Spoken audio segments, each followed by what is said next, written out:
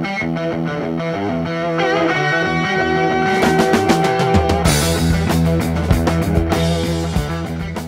guys, what's up? This is Tessa Jeffers for PremierGuitar.com. I am on the stage at Ascend Amphitheater in Nashville, Tennessee before the ZZ Top Show tonight with Billy Gibbons and Dusty Hill's guitar and bass tech, Elwood Francis. How you doing? Hey, pretty good. Um, he's handling all the gear this tour right now, so he's going to take th- us through both Billy and Dusty's gear. So I think we're going to start with Dusty. yes, Dusty's yeah, yeah. We'll start gear. with Dusty's bass. All right, so we're going to start with amps. Yeah, it's all. This is this is whole thing is Dusty's rigs, the main and the spare. It's really simple.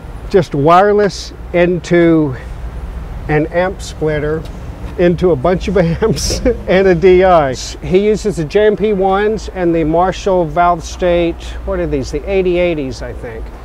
Um, almost the same thing Billy uses. He just uses one dirty channel. Um, and And he's been using those for a while now, right? Yes, they both pretty much use the same thing. They don't have the same settings, but you would think so sometimes. If when, when I check Dusty's bass, I mean, people look around like, man, what's going wrong? Because it's really, really big and distorted and everything. And Nice.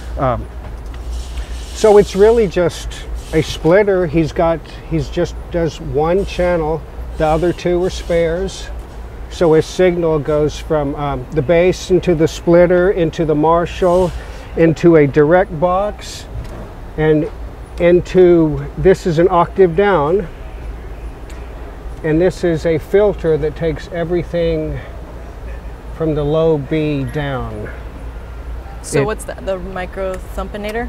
Uh, yeah, mi- what is this one called? Micro thumpinator. It's just, it Cool. just, I don't think I've ever seen that before. it filters off everything below B flat because we want the octave, we want the octave down effect on every note except B flat and lower. Okay. So that's what that does, and that goes to an octave box. So it's three channels, just clean, clean DI, the octave DI, and a dirty amp. And the amp goes to an ISO cabinet, and it's mic'd in there. Same And that's mics that they've been using Same mics. time? They want, you know, I can't, Dusty, I think, has a Sennheiser. I don't know. Okay. It's a sound guy question. But I know Billy's are the same mics, the uh, Heil, the 70 or. Um, Dusty's spaces. basses. That's Uh, beautiful. Is it heavy? No, they're pretty light. Every, all the guitars are really, really Especially light. for a bass. Yes. And it's So got a really us big about neck. this. Okay, this is John Bolin made, just the Bo Diddley model uh, with fur. The TV Jones pickup, and all Dusty's basses have the Babicz bridge, Nice. And you know just basic fuzz model Now, do you comb these for them? I do comb. this is the comb that does it. It gets rid of fleas. They look too. very pretty. So tell us a little bit about the the wireless are housed in these tobacco The tins. tobacco cans. Did you go find those? I, you know, yes, I did find those. I got the idea to do, idea to do that a long time ago and just went and found them and just started doing it. And now that Very cool. Once I started doing it, people started giving them to me, and I'll never have to look for them again. I've got them Got coming out my ears. Yeah, I mean, I've got them back at at the ZZ warehouse. I've got boxes of them. You got favorites it that you, you like the Prince Alberts? No, actually, you know, the uh, this one's.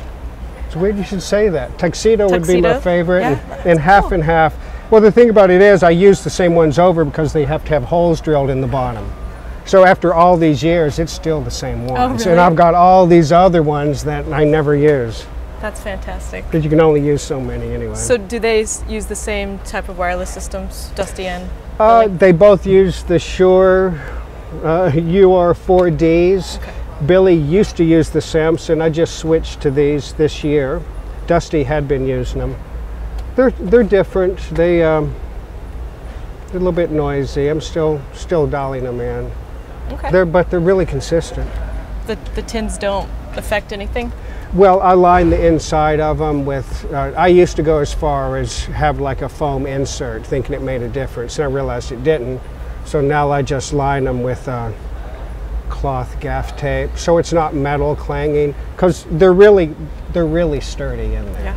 They just slip in there. It's like they were made for them. So I really Cool. lucked out. All right, what's this beautiful red base? The here? beautiful red bass, which has a matching guitar we'll get to, is the same thing. Under that's a Babicz Bridge. All Dusty's basses at this point are the old uh, 50s slab body style precision Fender basses with the single pickup, and all of them, obviously except for the fur, will have the stacked Seymour Duncan um, precision reissue, you know, pickup. They're pretty much all the same. They may look a little different. So what about this finish? Okay, this finish is actually pretty cool. It's it's a sticker. Can I touch it? Yes, you can touch it. you, can take a You never knife- know. You can take a knife and gouge your names in it if you want to. Um, So it's a sticker. it's a sticker, but you know it's really cool because on eBay I found a 56 precision bass that had been in a flood, and An this. actual flood? Or just a flood? Uh, you know, it wasn't a natural flood. It was just a couple years ago. And I found it on eBay. I got some high definition pictures of it, or I didn't. Someone did. I sent Billy the link knowing he would dig it. He got high definition pictures of it. And they just printed them so that out. was what the damage kind of looked like. this is what the base looked like. wow. I mean, That's it's cool. if you get close to it, you can tell it's a man. What the fuck is that? But if you stand away from it, that's really is how the bass looked. It's pretty So cool. So do they call it? You know, they've got style. They call their guitars different things. Are they calling this new You know- motif anything? This has been called the peeler, The peeler? the peelers, because the paint peeling. You what know, about the fretboard? that's all still photo. That's the same thing. Wow, It's cool. still. St- I think even the headstock. It's not just a sticker there. The whole thing is. You know, it's pretty amazing. It's photographs and stickers, but it's chambered body. It's So did you say Bolin helped do that, or was that? Bolin, this is a Bolin guitar. Okay. So are they? Is Dusty using and Dusty and Billy using these peelers a lot during the sets? These, or- these are the the peelers are the main guitars up until then till they get to fur. So Okay. the main guitar legs or to legs. Yeah, I call I call that Right song the the fur song. yeah, they he's they're only playing like one guitar the whole night, and then the furs so the peelers are like the number peelers one, are the number one Cool. guitar. and that kind of replaced the Bolin made the purple ones there. The purple ones, and there was something in between the purples, or at least one. There was the gold tops in between them. and there's somewhere, you know, because we have two sets of gears. I think the gold tops are still with the other set of gear because we send to. This is the U.S. gear, and then we have the worldwide gear to save on shipping. Nice. So and so will those, uh, well, A and B rigs have like the same types uh, models, or will they be No. totally different? no, the only thing that'll be the same will be the two first, Okay, cool. and everything will be. I mean, all this stuff will be the same. So oh, so in the Europe uh, rig, or did you say European rig or the, the- B rig, whatever. the B rig would be the gold top still? Yes, that's Cool. where the yeah, that's where the gold tops are. So I saw a base right here that has a really cool paint job. Yep. Could you tell us about that? This is uh, the Freddie King base, which I painted this. So I- you painted this, one? I painted this, That yeah. is beautiful. and this once again we you know we like How'd you get the idea to do that?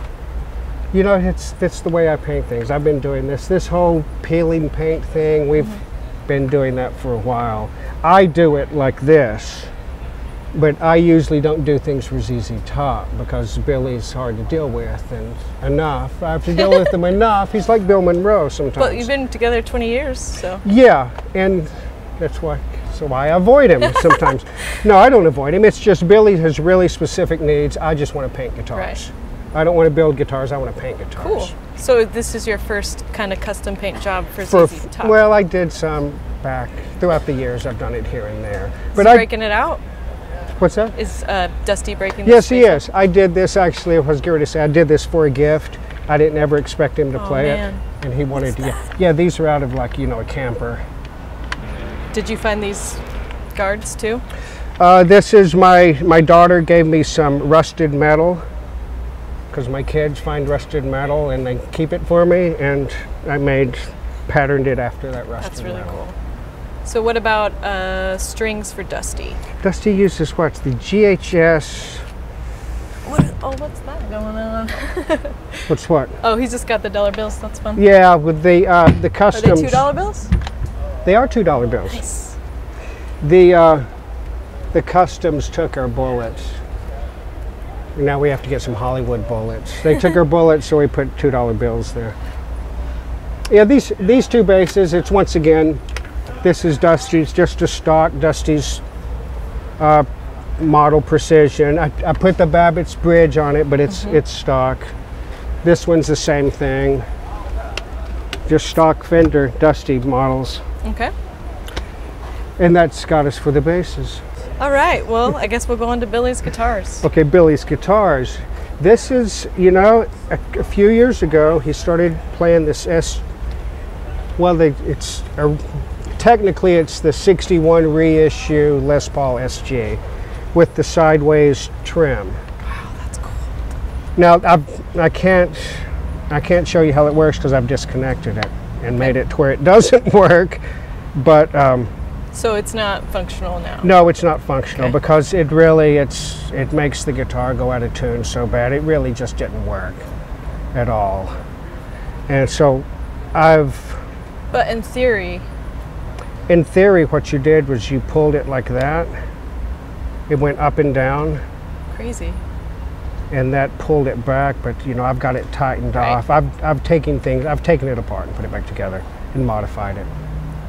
Cuz it's a tuning nightmare otherwise. But it does this big old clunk of metal does add something to the sound.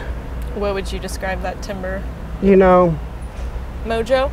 yeah, you know, all guitars they can be exactly identical and one will have it and one don't. It's just And Billy's on the quest that for that is. one. Yeah, you know, and these these add something. You know, I don't know what it is. I'll tell you one thing. He wears his rock jewelry, and this is the Encore guitar. So he Okay. uses the red peeler, and this is the Encore guitar. Uh, his rock jewelry, when he hits this, it, gosh, man, it's clang, clang, clang. It's the loudest, You can hear it? noisiest. Everyone complains about it. I've had to put like foam under this whole thing. I've gone to great lengths to try to get rid of the clang What are the pickups? pickup in this. What is the pickup in this? A Seymour Duncan Pearly Gates in this one. Pearly that one's the stock pickup, but it's disconnected. It's He uses bridge only. yeah. On this guitar, it's just wired straight to the um, volume pot now. And I moved the volume pot to the pickup selector and took all that stuff out Great. just because it was in the way. So uh, seven gauge strings? 7, 7, 9, 11, 20, 30, 38. But he does have a, a guitar he tunes different, open tuning. Uh, for um, just got Paid Open E. Which guitar is he using for that? We're not we're not using Oh. we're not doing that song. I've got I've got another locker of um, guitars in the truck in case if they do just got paid. I've got a Les Paul out there and everything. Okay. Down the line? Down the line, Melody Maker, built by John Bolin all chambered, has a Seymour Duncan Hot Rails pickup under that cover. Is this the one that's fashioned after the first guitar Yes. that Billy ever Yes, got it is. when he was 13 or something? Yes, Okay, this is a copy of that. I don't think I've ever seen this. you know this is here he every once in a while he'll play it i keep this one ever since he got it i fell in love with it so i've kept it out on the road because every once in a while he'll say why have we got weird? And i'll give him that guitar. He's going yeah this is great. Sometimes he just wants to get weird. yeah. Yeah. Certain songs? You think? Or all the time? yeah. Yeah it doesn't happen often but he does. Charles whitfield telecaster. This is a chambered chambered body. I don't think it has a chambered neck this is charles whitfield's pickup he doesn't make the pickup but i cannot remember who makes his pickup for him in the Babicz bridge the other pickup which you can't see gonna. there's the pole piece right there Oh. and this is the volume for that pickup, and this is the volume for that. Does he use it? He can. But he doesn't. He probably would live. You know, um, he probably would in the studio. Live is just straight ahead. In the studio is when he, you know, explores more. And what's the the beer? Just so he can Okay. flip it over and let people know he likes beer. Did he make that or did you? I have to do that. Ha- You notice I say have to. Um, yeah, because every time we go to Europe, each country we go to, I have to put it in their language. It really sort of. you have to put beer in their language. so you know how to say beer in a lot of languages, huh? Yeah, no, because I have no memory, but I could. Uh, Poland, this is the other peeler. Once again, the same, the same sticker. If you'll notice, it's like, oh, you can't see. I've got the beer. I can hold it if you want. They're the same. They are the same. you know. And it was a base, so it fits. It fits that better. Are the backs the same? Yes, but you can't tell because of my beer sign. Uh, the same thing for Billy, chambered. This one does have the chambered neck. And the pickup? Pickup is a cream, Cream T. tea, banger and mash. Nice. This is, I think, the Keith Richards and Billy pickup. Right. And so Or- he's using the Cream T. He's using that guitar most of the time Yes. until legs and the encore. Yes. And if, and if the uh, the Whitfill is the spare for that. The The Whitfield's new for this tour though. Uh, He just got that a week ago. He Oh, was really? he was playing it, and then he stopped, and I don't know why. The uh, the John Bolin Bo Diddley Gretsch, just a basic John and guitar, chambered. I think this one was one of the first with the chambered necks. So once again, it's really sort of light. It is. You know, they're really light. The lightest. This thing is amazingly light.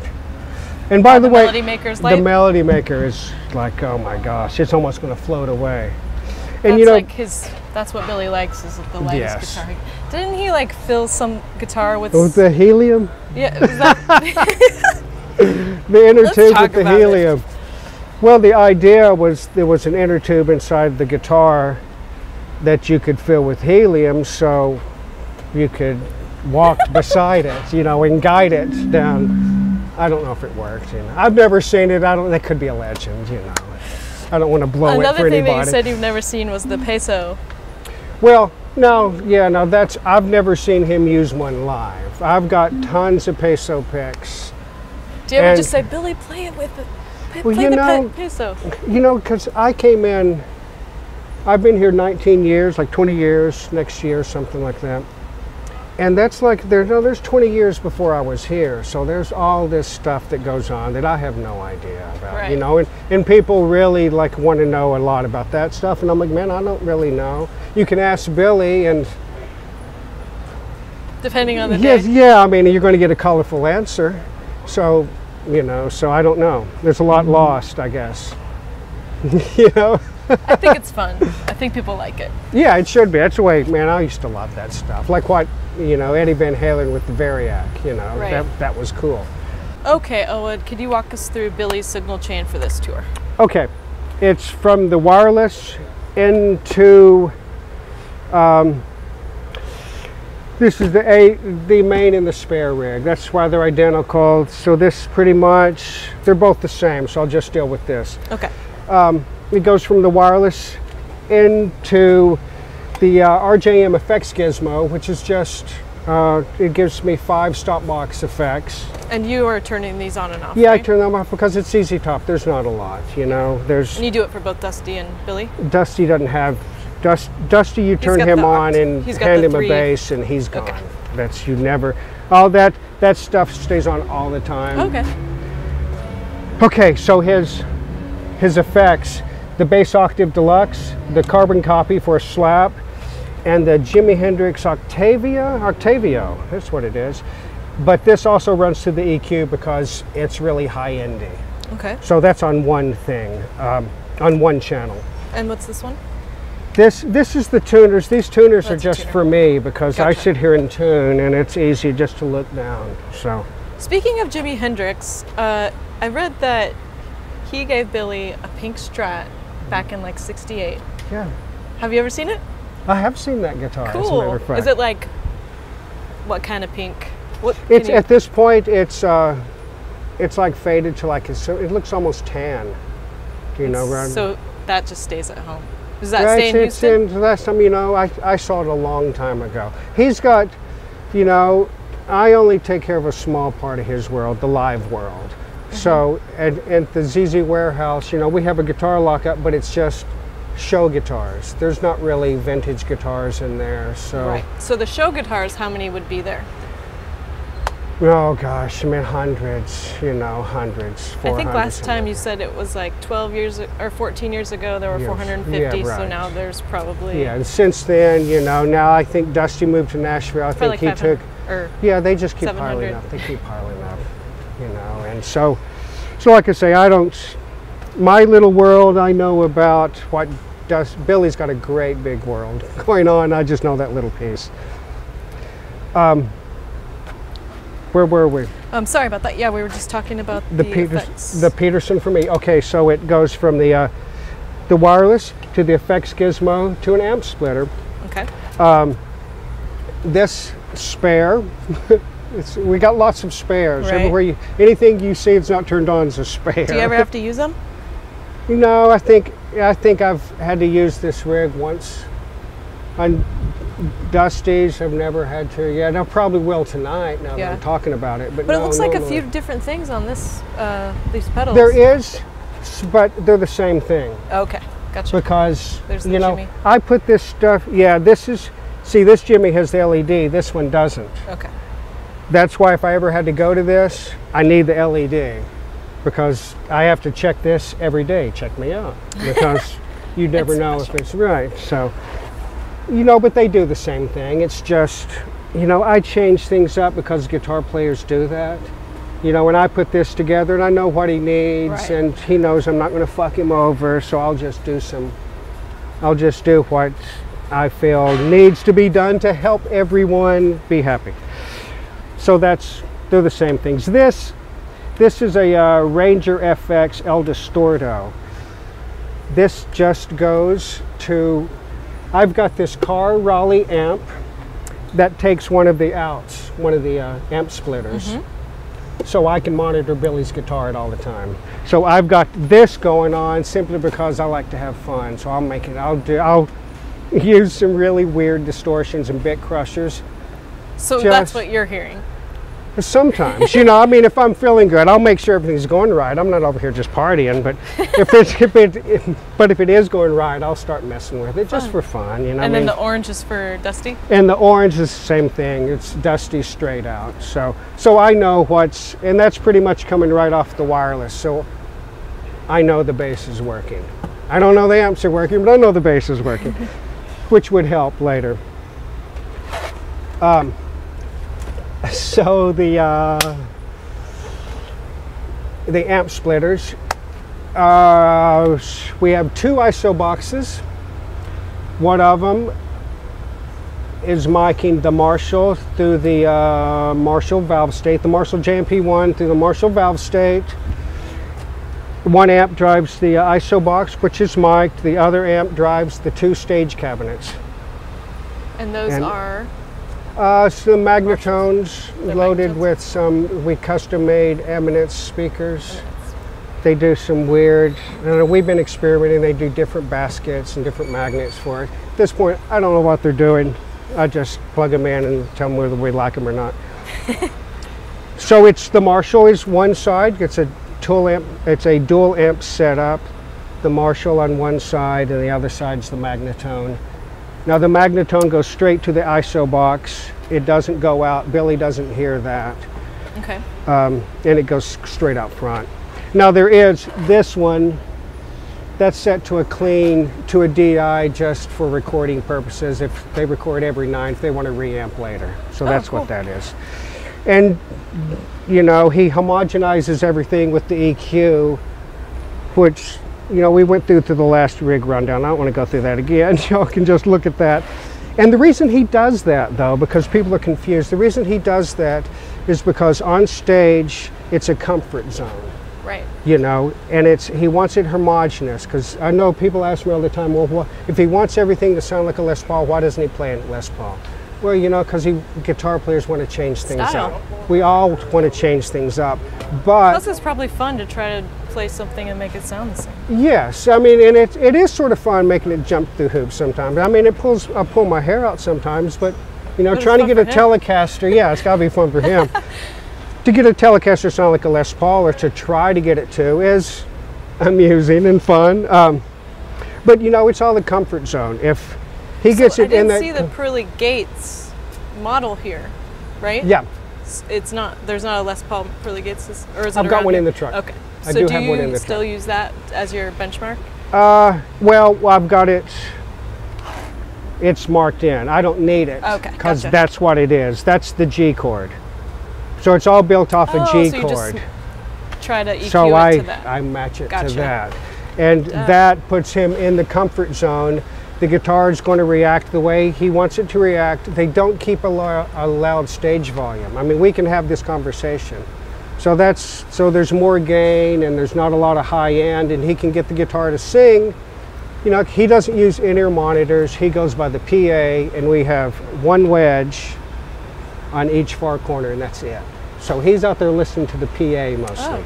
It's really, it's really old school, weird thing to do that not many people do these days. Most people yeah, they even usually have like in ears. yeah, everyone. I think you know, Dusty does have in ears. Frank has in ears, but Billy's old school, baby. Cool. Uh, so did we want to say anything about the Magnatone uh, The Magnet- Super 59? This Magnatone Super 59, we've been using that for quite a few years now. it used to be a prototype, but It used to be a prototype. Now they've started year, making them. Uh, and it's it's you know I don't I don't want to sell anyone short, but to just cut to the chase, it's like a really souped up Marshall, you know. And this big tone, it's a Spanish amplifier that he bought some in Europe on the European tour, because he does try new things constantly. Yeah. So what's going on with the big tone? Is Uh, he using it? we we use it sometimes. You know, it's it's in the same ballpark. They're not the same, and I don't want to sell anyone short or anything because they both sound really good and uh, you know. So Yeah, he likes to play around. So yeah, so it's just it is what it is. It's a big So beefy big- Marshall. big tone, he got it in Spain. It's he got it in Spain, and it's 100% it's a Spanish amp. The Oh, Spaniards made the cool. amp finally. The Spaniards Nice. came through. You mentioned the LED. So the LEDs on the guitars, right? Don't they light up sometimes or not? Uh, on the purple ones they The did. okay, I thought they did. So you would be turning that on, or they would? Well, no, it, I had to turn it on at the beginning of the night. It was the pickup, the pole pieces were LEDs. Okay. Or not the, right, it looked like the pole piece are LEDs. They were just LEDs instead of pole pieces. No, I would turn that on at the beginning of the So night. So they're not lighting them, up- lighting anything. No, no more purple guitars. I did not like the purple guitars. I'm glad the purple guitars are gone. LEDs Do you all. want to say that on camera? Yeah, I don't care. I've, I've talked to both of them about it. I'm going, we went too far, I took too much wood out. I didn't, they looked great, they're killer because, you know, a lot of it's a bit of experiment with Billy too. I mean, we, we, both of us, I mean, he'll take ideas from anybody, you know, it's like, once you're in, you're in. You know, uh, Dusty's old tech TJ, he came up with this design, a color for Dusty's bass that, you know, that Billy really dug and had a bunch of guitars made from TJ's colors. So, you know, it's, It must be fun to have that like kind of artistic it's thing great. going on all the time. It's great. Hey, Billy, I thought of this. Oh, that's a killer idea. Let's, nice. let's Well, get so you got your Freddie. King bass. Are you working on any other? Well, now I jobs? think now I think I have to do some more King. I have to do a guitar maybe? I have to do. I think I got to do. they gotta some match. More, yes, I got to do some more Kings. A couple more Freddie King basses and maybe a couple um, BB King guitars Oh, nice. or Well, Jerry King. It wasn't BB the one that inspired Billy to play the to lighter play the gauge. light strings. But BB didn't play sevenths, did he? I don't know. You know, it's folklore. I don't want to start Okay. uh, dispelling the myths. No, I don't. No, I honestly I don't know. You know, but you know, I've handled Jimmy Page's guitars. I worked with uh, Aerosmith, and Jimmy Page came and set set in, and he used eights. Yeah. You know, and at the same time, Joe Perry was There's using somebody eights. else was using a really light gauge. I can't think of right now. yeah, so it's like you know, it's. A lot of people do, but I've just never heard the sevens. so I'd never heard of sevens either, and you know, I used to. I used to buck it too. I'll admit it. I used to be like, man, if he would just use some heavier strings. But you know, I'll, I have some of the same guitars he has. He'll, if I come up with an idea, he has the guitars made. He'll have me one made. Oh, so Oh, cool. I'll have the same thing, and I'll put 11s on it. You know, and you can really hear So a do you guys difference acoustically. No, no. Oh. I'm, I'm a punk rocker. He's he's Billy. He's into his other thing, his Cuban thing or whatever. So anyway, So when you go, you'll go on this the solo tour with Billy. yes. Will he take a whole different? yeah, we're, set of we're- guitars? Yes, he's got some Cuban guitars Are you still deciding, or No, I think they're already made. They're John Bolin's. Uh, anything you can tell us? I think they're maybe uh, it may be cigar oriented. Maybe Oh, cool. you know I can't. Okay. I've not seen them. I Some cigar box. you know Oh, we didn't No. talk about. I think this uh, Cuban cigar wrapper or something. Maybe like a cigar, motif. a, a, a tobacco wrapped guitar. Knowing him, who knows? I like it. Um, but yeah, but that's going to be that'll be different. It'll be all different gear. He won't use this stuff. He'll just plug straight in through a Magnatone. And it, we didn't talk about Billy's slides. He still use the same? His Still use the same. The uh, yeah, the Dunlop slide. Nice. And is he still using his orange? Billy Still Gibbons uses picks? the orange picks. What uh, gauge are those? Oh, those are a little bit I different. I think like Are 151. Are they different? Maybe they just look different when I s- in the picture. Well, he went from, uh, you know, even before these, the other ones looked exactly like him. That's a little cartoon I drew of him. Before that, it was just his signature. So, Do you have that on any guitars? no, do not. Cool. Well, thank you so much, Elwood, for talking to us. It's You're hot out here, I know. I know it's killer, man. We'll have a great show tonight. Okay, thank y'all. This is Tessa Jeffers for PremierGuitar.com. Don't forget to sign up for PG Perks, your all access pass to exclusive gear giveaways and discounts on PremierGuitar.com.